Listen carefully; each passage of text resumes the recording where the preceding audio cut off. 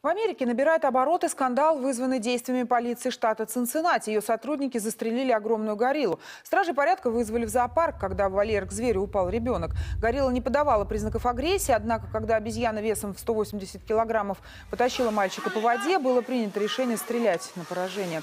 Тысячи американцев уже подписали петицию с требованием наказать родителя ребенка за халатность, а полицейских за жестокость. Активисты напоминают, несколько лет назад другая горилла в похожей ситуации спасла ребенка. Обезьяна отгоняла сородичей от раненого мальчика и также носила его на руках.